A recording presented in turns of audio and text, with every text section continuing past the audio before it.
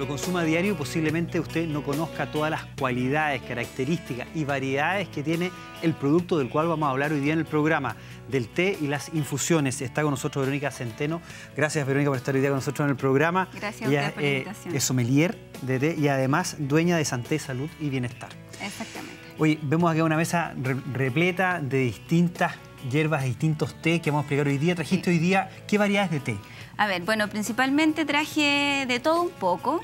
Eh, primero que todo quiero aclarar qué es el té, porque la gente muchas Aclaremos- veces pregunta lo que es el qué, té. qué es el té. Sí. El té mayormente es una infusión eh, preparada en agua caliente, que puede ser, por ejemplo, de hojas eh, secas, hojas molidas o de brotes de la planta de Camellia sinensis. Para que la gente sepa, es una sola planta que tiene distintos tipos de procesos de oxidación y ahí vamos sacando Las los diferentes té. tipos de té. Exactamente. Correcto. sí. Entonces hoy día quisimos traer un poquito de todo un poco. Trajimos un poco de té blanco. Este es té blanco. Este es té blanco. Ya. El, primer, eh, el, el primero que todos fuimos té blanco, té verde. Acá hay un oolong, que es un té eh, milky oolong, que es vaporizado en leche. Y tenemos un té post-fermentado, que es un té rojo. Correcto. Eh, ¿Te puedo preguntar una cosa? A, a propósito del té y los distintos procesos que tiene de fermentación y oxidación. ¿Cómo se va dando ese proceso? ¿Dónde aparece el té negro, el té rojo, etcétera? Sí, exacto. Bueno, eh, de alguna otra forma, como dijimos, la planta es la misma, Claro. Camellia sinensis. Existen dos tipos de Camellia sinensis para que la gente sepa en su casa. Una que es la Camellia sinensis sinensis, que se cosecha mayormente en la zona de Asia, de China, y tenemos la Camellia sinensis asámica, que la encontramos principalmente en India. Ya, perfecto. Eh, por ejemplo, el té blanco, el té blanco paimután es un té que no tiene ningún proceso de oxidación. Solamente Ah, se cosecha y esto se estira en unas bandejas de bambú al sol para sacarle un poco la humedad de la hoja que tiene que reducir a un 20% y después se guarda y es lo que nosotros tomamos en la taza, un té Ah, blanco. del- O sea, el té blanco. De acuerdo. Sí, el té blanco contiene, para que la gente sepa, 5 a 10 veces más polifenoles que el té eh, verde. ¿Y qué son los polifenoles? Los polifenoles son, eh, como una, eh, son como los antioxidantes naturales que tiene la planta. Correcto. Eh, eh, tiene muchas propiedades, por ejemplo, para la piel, es, es alto en, en colágeno y en, y en elas- elastina. Correcto. Esa es la propiedad del té, del té Sí. blanco. Exacto. Ahora, ¿cómo sigue avanzando esto en el proceso? Después del té blanco tendríamos el té verde. Ya. Dentro del té verde hay dos tipos de té verde, el té verde chino y el té verde japonés. Ya. Son eh, dos variedades sumamente distintas por el terroir que presenta la zona, eh, pH de suelo, situaciones climáticas, altura. Ya. Entonces, lo que va a diferenciar uno de otro es el secado.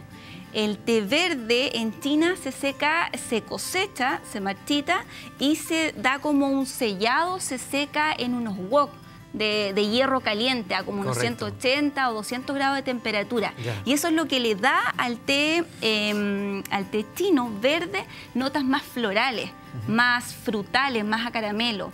Eh, no bien así, por ejemplo, los tés verdes japoneses, que trajimos uno, que es un sencha orgánico japonés, que este, se, para sellarlo y para secarlo, se seca a vapor. Entonces, otra, otra forma de secado. Exactamente. Y como tiene otra forma de secado, va a tomar otras notas, que Correcto. son unas notas más marinas, unas notas más vegetales. Ahora, si nos vamos de, de la palatividad, del sabor a las propiedades, ¿cuáles son las propiedades que distinguen al té verde, por ejemplo, Bueno, en, eh, en relación al té blanco? Eh, el té verde tiene muchas propiedades y la más característica de todo es que tiene un aminoácido, eh, bueno, todos en realidad todos los tés tienen el mismo aminoácido que la L-teanina y eh, lo que hace la L-teanina, bueno, tú debes saber mejor que trabaja dentro del sistema nervioso central manteniendo a la persona en un estado de calma. Correcto. Por ende también va a ser un anti antiestrés, Antiansiedad, antiansiedad para. Controlar, por ejemplo, el sueño, estados anímicos por la dopamina que tiene también este aminoácido, eh, nos va a brindar un estado de calma. Eh, entonces tenemos, claro, que todas las variedades del té van a tener un porcentaje de cafeína, pero sí van a tener la L-teanina, Teanina. que es súper importante que no lo contiene otra bebida. Té blanco, té eh, verde ¿Qué otra? ¿Y después cómo seguimos este Después proceso? seguimos con, no lo tengo acá, pero seguimos con un té amarillo, que, que, la gente no lo conoce mucho en su casa, eh, que era antiguamente el té de los emperadores. Té amarillo. Té amarillo. El té amarillo es súper difícil de encontrar y se cosecha en tres regiones de Chile y la forma es más artesanal. Estos tés se almacenan por tres días en unas hojas que son hojas de paja, donde mantienen la humedad y esto es súper, eh, va de alguna u otra forma a despertar eh, más información en la hoja y para la gente, por ejemplo, que sufre el estómago, esto es súper bueno, ah, sí, este es el té amarillo. amarillo. Sí. Perfecto. Después del té amarillo saltamos a lo que es ulón o gulón en, en chino, que significa dragón oscuro. El té azul, que nosotros los conocemos, es una variedad infinita de, té, pero depende de la oxidación, vamos a encontrar distintos tipos de gulón, desde el 20% de oxidación hasta el 80% de oxidación. Otras variedades. Y ahí tienes otras pues variedades. Un mundo entonces. Exactamente.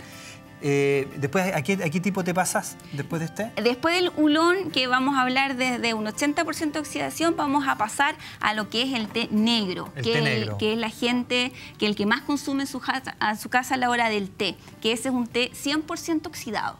Correcto. ¿Y, las propiedades que tiene este té? Bueno, cuando eh, cuanto más... Eh, menos, o sea, cuanto menos oxidada está la planta, vamos a encontrar más catequinas dentro del té. Eh, Expliquemos a la gente las Sí, las catequinas son parte de los polifenoles y los polifenoles son como los antioxidantes naturales que contiene la planta. Son las sustancias químicas que vamos a encontrar en Camellia sinensis. Cuanto más catequina nos entrega, vamos a, eh, va, a tener menos cafeína, nos va a mantener un estado más de calma, más, digamos, de, reposo. Y cuando nos vamos acercando ya a los tés que son más oxidados, vamos a encontrar más cafeína dentro de nuestros tés. ¿Dónde aparece el té rojo acá? El té rojo, eh, para allá vamos, es el ah, último. El último, ya. Es el último, porque tiene un proceso extra. Correcto.